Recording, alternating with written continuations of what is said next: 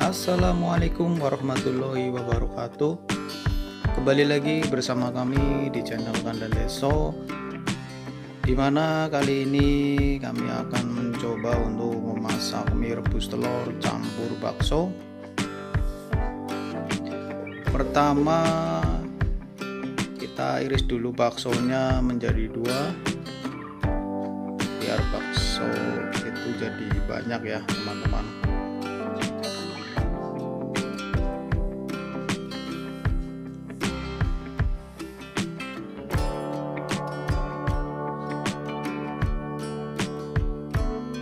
baksonya. Tinggal bumbu-bumbunya kita siapkan.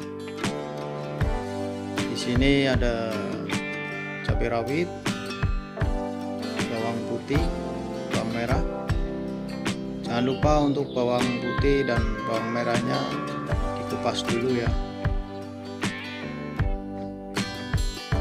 Pelan-pelan saja ngupasnya. Karena kalau tergesa-gesa atau cukup nanti bisa pisaunya bisa kena tangan.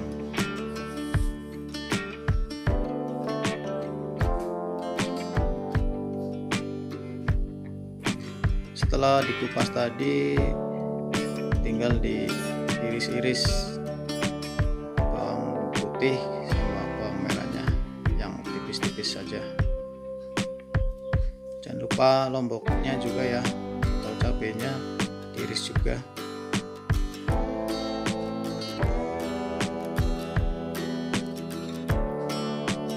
Setelah bumbunya tadi udah semua kini tinggal daun tesinya ya. Kita potong-potong. Biar nambah gurih dan enak ini. Kita kasih daun sesin setelah itu tinggal dicuci biar bersih setelah tadi udah siap semua. Gini tinggal minyak. Kita rebus dulu minyak direbus dulu sebelum proses nanti pemasakan kita tiriskan.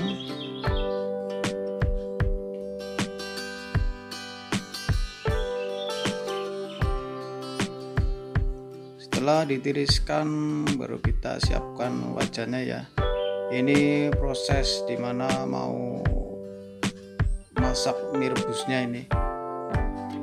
Teman-teman jangan lupa menonton dari awal sampai akhir. Pertama kita masukin dulu bumbu-bumbunya kita aduk terus sampai baunya harum. Kalau baunya sudah harum berarti itu sudah matang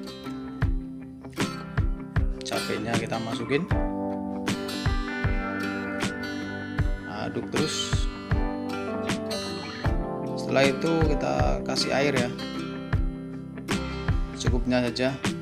Jangan terlalu sedikit dan juga jangan terlalu banyak. Secukupnya aja. Setelah mendidih baru masukkan telurnya kenapa harus telur dulu? Karena biar nanti matangnya itu sama nggak terlalu lama ya. Karena mie cepat matang apalagi tadi sudah direbus dulu.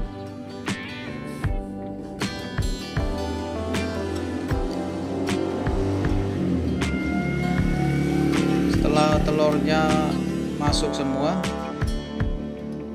jangan lupa diaduk. Diaduk aja pelan-pelan saja ya setelah mendidih baru kita masukin daun jasinya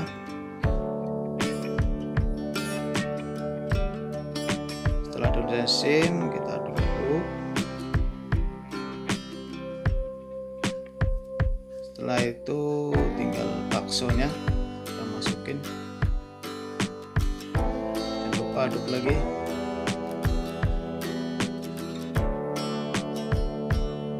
Dan ini minyak ya sudah ditiriskan ini kita masukin. Diaduk terus.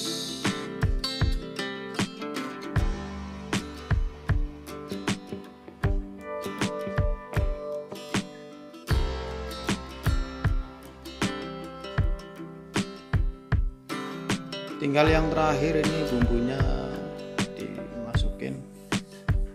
Bumbu dari mie instannya ya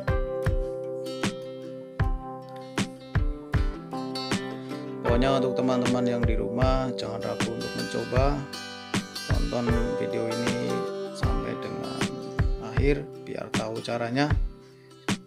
Selamat mencoba untuk yang di rumah.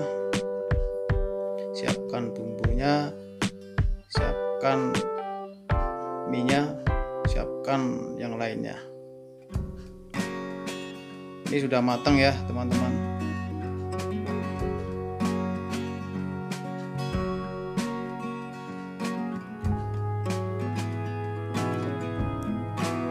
kasih untuk teman-teman yang sudah menonton. Jangan lupa subscribe like dan share ya